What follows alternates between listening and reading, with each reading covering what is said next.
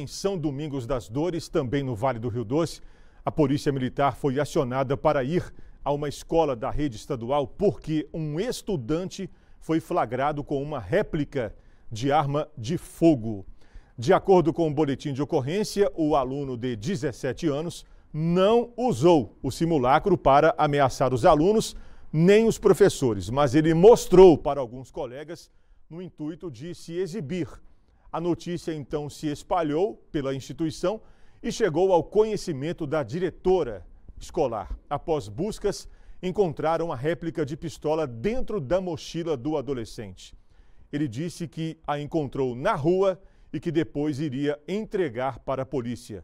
Os pais do aluno foram comunicados e foram até a escola, junto com um representante do Conselho Tutelar. Tendo em vista que o fato não configurou crime, o adolescente foi entregue aos pais. O simulacro foi apreendido e entregue na delegacia de Polícia Civil.